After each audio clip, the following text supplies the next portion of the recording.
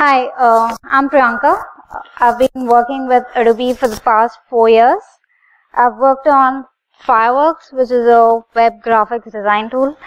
And in the past one year, uh, we have been working on a web tool uh, that would generate graphics for the web. And it would export to SVG as well. So today what I'll do is I'll share all the cool things that I, I personally think are cool about SVG. So uh, before we proceed, how many of you have heard of uh, SVG? How many of you have used SVG? Ah, that's awesome. So what we'll do is uh, we'll go over what SVG is and why we should use SVG and how you can use SVG in HTML and all the SVG elements and its properties and how you can animate and interact with SVG. So SVG, it is graphics that scales well across multiple screens uh, without any loss of fidelity. Uh, what I mean by this is here I have two versions. One is a PNG version, which is a bitmap, and I have a SVG. Uh, when I scale it, as you can see, the image gets distorted. But with SVG, there is no loss of fidelity and it works well across uh, multiple screens. Coming to HTML, SVG and CSS, SVG has been around for a while, but what has changed in the recent past is that there is support for inline SVG now. And why is inline SVG important? It's because you can add SVG directly to your DOM and you can interact with it as you do with any other DOM elements. So that is where you can make your web pages richer by making use of the goodness of HTML, CSS, and SVG. So coming to the properties of SVG, SVG is uh, stylable. You can use CSS or uh, SVG styles. It's uh, responsive. It works across uh, multiple devices, multiple screens, uh, platforms, and it works well with media queries as well. Uh, it's interactive. You can add event listeners to it and work with it as you would with any other DOM elements. It's uh, animatable. Uh, you can add CSS or SVG animations to it. Here you can see that the gradient is being animated and it is uh, scriptable as well. Uh, what I mean by this is you can generate your SVG and add it to your DOM dynamically. Uh, frameworks like Raphael or uh, Snap makes use of the scripting capability of SVG and it generates really good graphics that you can use directly within your HTML. Uh, so, ways to include SVG in your HTML. With XHTML, you could use it as an image. You could use it as an object with the object or the embed tag. Uh, you could use it as a document with the iframe. And with HTML5, you can use it directly within your uh, document. Uh, we'll be speaking more about inline SVG in this uh, session. So let's take a minute to look at all the SVG elements that are there. Uh, you can use the SVG tag like uh, this in your body or div and it provides basic shapes like rectangle, ellipse, circle that you would expect any graphical language to have. Uh, it has SVG text as well, which we'll uh, look at in a while. And it has other shapes like line, polygon, polylines. And it also has path with which uh, you can draw your shapes and Bezier curves. Uh, for styling, we have SVG gradients and you can use SVG patterns. Uh, you can use clip paths where you can define your shape and embed your bitmap within the shape. Uh, there are SVG filters like blur, uh, grayscale, and you, it works well with CSS styles. And there are transformation properties like translation or uh, rotation. Coming to SVG text a lot of things are being worked on to make the text rendering better on the browser. Uh, with the new CSS specifications, we have uh, CSS regions and uh, CSS shapes. If you're not aware of it, uh, what CSS regions does is you can put your uh, text within your container and you can make the text flow from one container to the other. And there are CSS shapes where you can embed your text uh, within a particular uh, shape. But this is not yet supported on all the browsers. And even with that, uh, CSS can't do something uh, like this, where I have the text on my path, and it's really simple to do with SVG, where uh, you just define your path and have the text follow the path. Uh, we'll look at some more examples on what you can work with uh, SVG text uh, in some time. Uh, animations. So SVG has these uh, presentation attributes. Uh, presentation attributes are more like fill, stroke, that CSS understands and we can use CSS animations to animate the SVG. For other attributes like path, which cannot be handled by CSS because it doesn't understand it, we can use uh, SVG animations. Uh, we look at both uh, right here. So, how many of you have uh, played Flappy Bird? Here? Oh. So, what I have here is my own pretty version of Flappy Bird. Uh, as you can see, it flaps. All it's doing is flap. It's not a game. So, uh, what I can do with this is, what I have here is an SVG version and it's really simple to do this. Uh, as you can see, I have the bird, uh, the bird class where I've defined my paths uh, for the wing and the rest of the bird. What we can do is the right wing that you see here, we'll animate that using CSS. and this is again really simple. I'm using the WebKit transform or the normal transform as well. And I'm translating the bird to move uh, up and down. So it shows the flapping of the bird. Now that I have a flapping bird, I would want to make it move around. Moving around a straight line is pretty simple, but what if I want to make it move across a shape like this? This would be really difficult to do, but with SVG, this is uh, really simple to accomplish. All you have to do is you have to uh, define your path, uh, which you can create using any of the desktop tools like Inkscape or Illustrator, or you can use uh, online tools for this like SVG Edit or Mondrian. And once you have your path, uh, what you have to do is use the animation motion tag and just say which path to follow. Provide an ID and say, okay, follow this path. This is how simple it is to do. There is no JavaScript involved to do this at all. It's really simple. And one more thing that you can do is have uh, SVG draw something like this. With SVG uh, path capabilities, you can animate and make your uh, website much more richer. And to do this again, it's uh, really simple. You just have your path and use the animate uh, tag to animate it. Uh, we'll just look at a real world example of where this is being used. So this is uh, a New York Times article so New York Times is uh, doing uh, have these multimedia stories where they're exploring all the new web technologies and uh, using them to improve their uh, user experience. So this is one which uses uh, SVG path. So what what this article talks about is the journey from one place to another. So let's see how you how it goes. So it's from Petersburg to Moscow. As the story progresses, you can see that for every stop, it kind of animates it like right here. You can see that uh, every stop animates really well and it enhances your uh, user experience with this. So this is what you can uh, do with SVG. And it's really simple to do and it improves the uh, user experience. Uh, CSS or SVG. Again, let's uh, take a look at example. So, how many of you seen the Twitter fail whale? Oh, quite a few of you. So there is an animated version of uh, Twitter fail whale that's available online uh, on the internet. So this was created completely using HTML and CSS. And what I've done is I've created my own version of Twitter fail whale with SVG completely in SVG.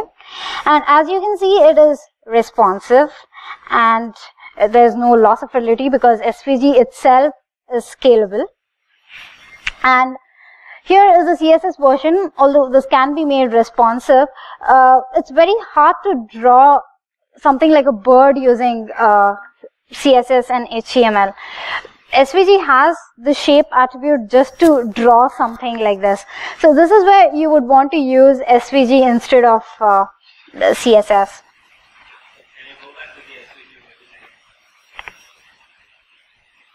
It's pretty. huh? What's the CPU load? Uh, it's not bad. The performance is uh, not very bad. I've seen it. it. It has only like three transitions. So we can take a look at it. We'll, we'll look at it after uh, we're done with the demo. I mean, session.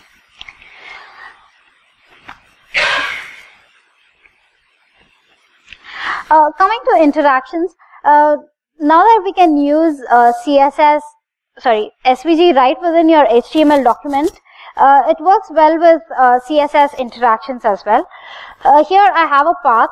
So as I hover on it, you can see that I'm changing the uh, fill color. Uh, how this is done is that I define my path and uh, since we have our presentation attributes which is fill, which CSS understands, we can animate, uh, we can apply transitions on hover. Uh, all I'm doing is on hover, uh, change the fill color. So this is how simple it is to do this. And uh, more real world example would be to create something like an image map. What I have here is a map and there are different locations of the map which on hover changes the uh, color. Uh, what I can do with this is as I hover on it, I can provide more information uh, about the particular location or take, take the person to that location which would provide some more information about this uh, location. And it's really uh, simple to do as well without any JavaScript again. Uh, here I have the clip path and I'm using the image which is which I'm embedding within the path and again on hover I change the fill color. Okay, coming back to text, uh, this is one of the things that you can do with text right here. What I'm doing is I have a path and I'm making the text flow on the path. Uh, as you can see here, uh, it's moving around. Uh, how I can do this is again define my path and get the text to follow the path using the animate attribute. So uh, let's look at some more uh, animations that you can create. This is available in SVG Wow. Uh, so this this will run through all the effects that you can do for text.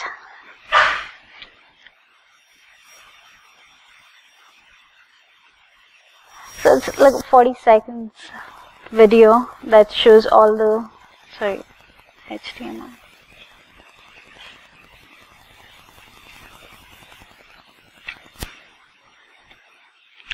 So these are the capabilities that uh, SVG provides, and so as you can see, it, it you can create really rich animations with uh, text and SVG. So uh, coming to more richer interactions. So we saw the bird that we had back then. Uh, it, it was following a path. So what I'll do now is draw my own path that it should follow. So I create my path and ask the bird to follow the path that I uh, just created. Uh, so you can do a lot of drawing and interactions with using uh, SVG. And there's another example uh, right here uh, where if you click on it, it adds an element and you can drag it along. Uh, this is completely done in SVG. So these are some of the things that you can do. But to do more complicated interactions, you would want to use a library like Raphael or Snap or D3, which would help uh, abstract all the complexity and make it simple for you to use it. So this is what you can do.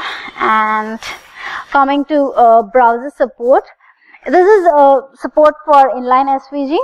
Uh, as you can see, most of the current browsers and devices support it uh, except for Opera Mini. In SVG itself is supported across all the browsers, but uh, this is the statistics for in uh, normal SVG.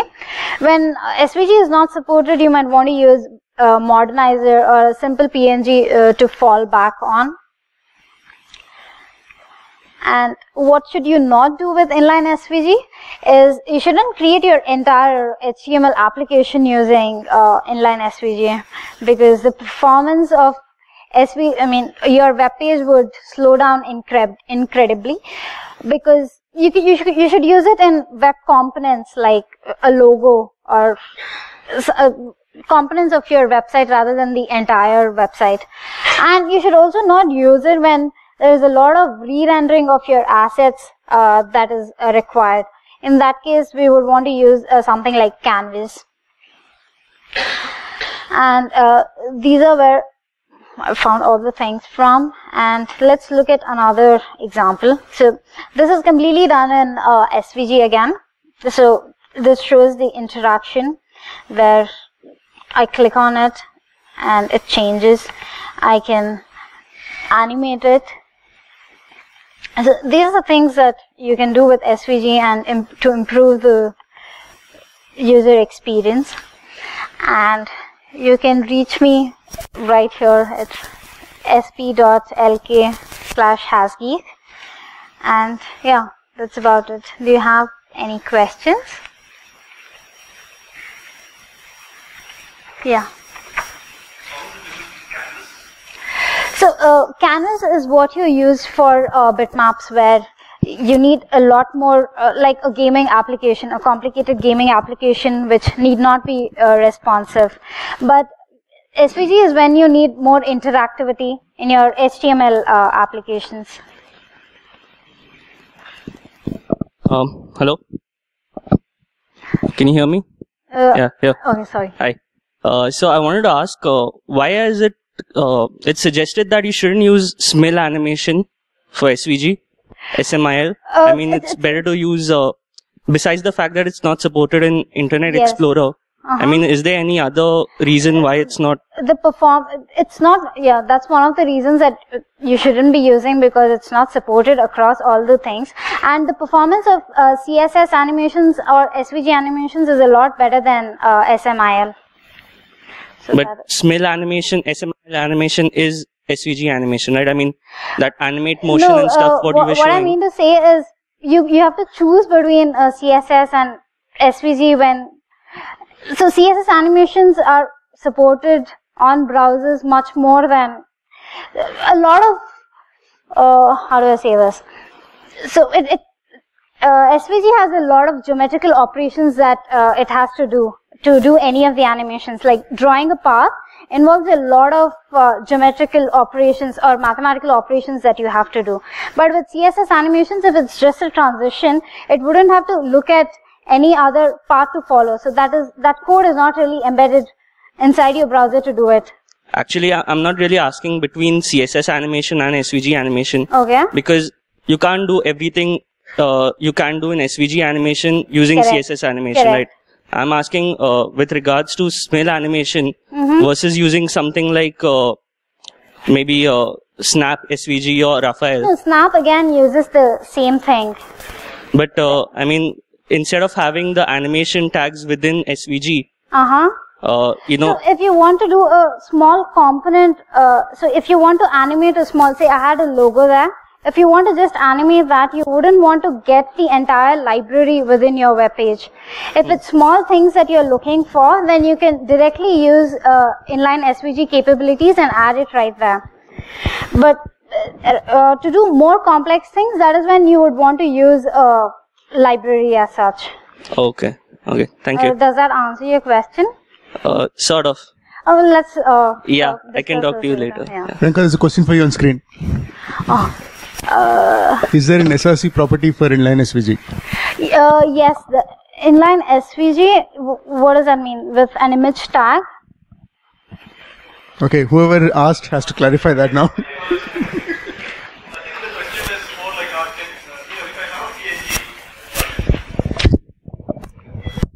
Uh, I, I suspect that if I have a PNG or, a, or some other form, format like that, I can use a data URL and put it directly in my HTML. I use it with uh, SVG.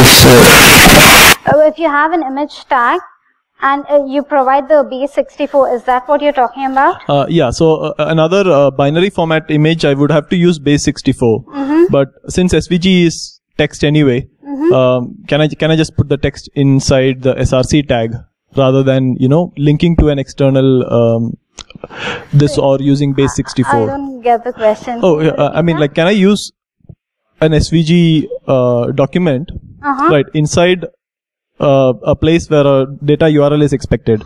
For example, in the image SRC or maybe in like inside inside CSS So in inside background. image SRC, you use .svg, whichever the SVG file is. Oh no no, no. I, I, I, yeah uh, exactly correct. Uh-huh. But I do not want to link to an external SVG resource because that will cause the browser to you know oh, you make can an embed the entire SVG within your uh, inside. Say you you you want to put it within a div tag, you can always do that. But unless you want more capabilities, like interact with it, then it would not. It's not really advisable because it just loads it, right? Uh, yeah. Okay. Uh, j- uh, slightly related question. Mm-hmm. Uh, I want to use uh, a background image on, you know, uh, using CSS, right? I, I Mm-hmm. want to add a CSS background image, and again, I can use a data URL over there, background image URL, whatever. Mm-hmm. So, is there is it possible to use SVG over there? Yeah, you can just again get your SVG right there. I mean, you just provide your URL with the uh, SVG uh, file that you have. Um, yeah. Uh, without using an external imi- file, I mean, embed it inside in Uh, inline. I'm not sure about that. Yeah, yeah, pretty much. Yes, you can do that. I mean, you can always have SVG as. Uh, Like if you got an SVG file in your folder, then how? Sorry. If you got an SVG file in your folder, then how do you put the URL for a like S, SVG property? In the SVG property, like uh, in iframe we have equal to right? correct. Like if it's SVG attribute, how do you? uh, Which attribute is you can give for uh, like? Uh, So I have an SVG tag, and what do you want to do with that? yeah, SVG tag is there, but I don't it? want to put the complete SVG nodes in the HTML file. I want to put, I want to use an external SVG. Okay. How do you do that in that? The other. Uh, Like, uh, why we like, yes, um, why I need is like because uh, I don't want to put the complete SVG pro tags correct. inside the so You can use the image tag or iframe or. Then it will work exactly the same as inline, inline SVG. No, it doesn't work like Yeah, inline. uh, so- Inline SVG is something that is present right within your DOM. Yeah, so there is no option to put it like in. inline. Then you just go to the SVG and get copy it right here. There are uh, libraries which actually do that. Once you uh, give the SVG, it uh, optimizes it, optimizes it, and uh, gives Be- it to you. because otherwise if you want to use some inline svg things Mm-hmm. I, I anyway i need to put it inside the browser html completely right tags. Yes. uh, um, if i want to put it in a separate svg and then use as inline svg there's no option right that's what i Ah, no. Couple more questions in the back. Yes, you can do that. Uh, so within the defs, uh, can I just go? Okay. So there are there's a particular tra- track called uh, defs where you can define all your paths and you can use the use tag. Okay, I'll just show.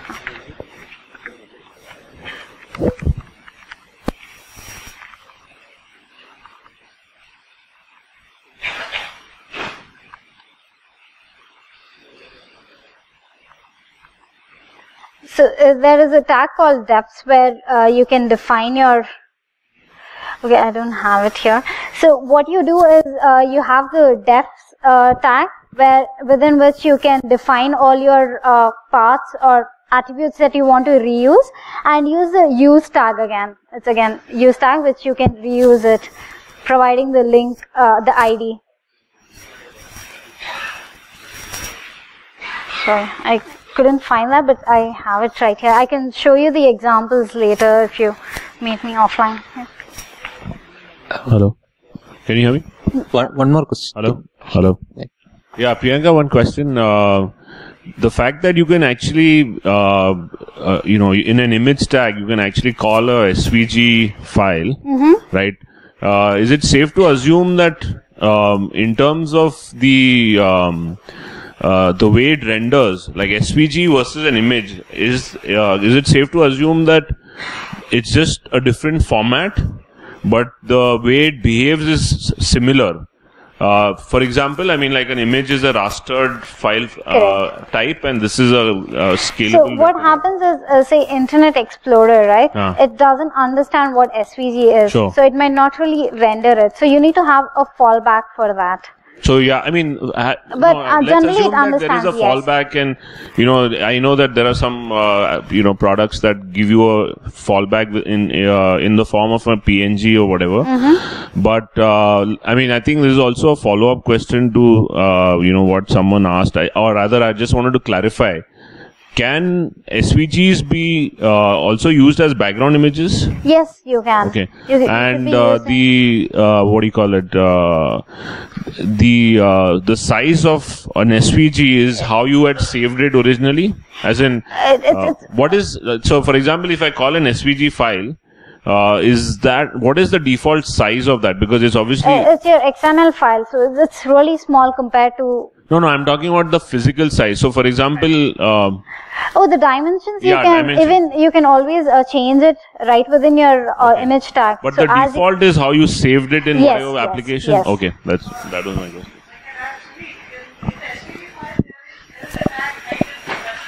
Hmm. Okay, okay, okay, cool. That's it. Yeah, thanks.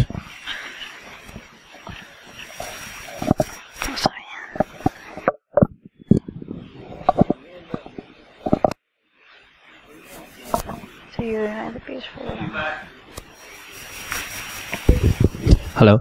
So uh, if I use the image tag to include an SVG, uh, how much of the uh, DOM capabilities do I get or can I get?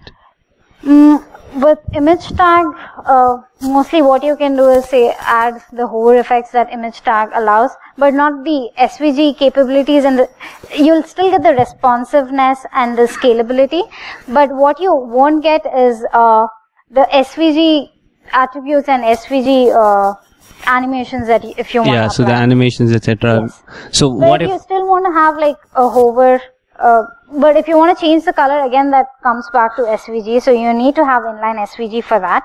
But if you just want to say uh, add the filter effect on uh, hover, that you can easily do with. Uh, so what if I want to use an external SVG resource? I just use the SVG tag along. Uh, if there's a SVG stored Uh-huh. as an external resource, Correct. and I want to load it, which is like the effect is similar to inline SVG. What do I do? I use the SVG tag and it has yeah, some source attribute. SVG tag right within your uh, DOM. No, what if it's an external resource, the SVG file that I want to load? uh, then you should you need to put it within the image tag but you need to copy and paste it right here you can there is no way to just load it as i mean there are libraries that do that but So- there is no uh, direct So essentially, I use the image tag to load it, and then I uh, load some external library which enables Yes, the DOM that. elements Huh. with the abilities. there, Okay. there's svg i don't know if i forgot i'll get back to you but Sure. yeah there are libraries that uh, do that it expands optimizes and puts it right into your dom snap does that here sorry okay Is it good? Oh yeah, it's good. it's it's by the creator of Raphael uh, only, so it's really good. It's the it's basically Raphael 2.0, but with a lot more capabilities than uh, Raphael. We were using Snap and we were building the tool, so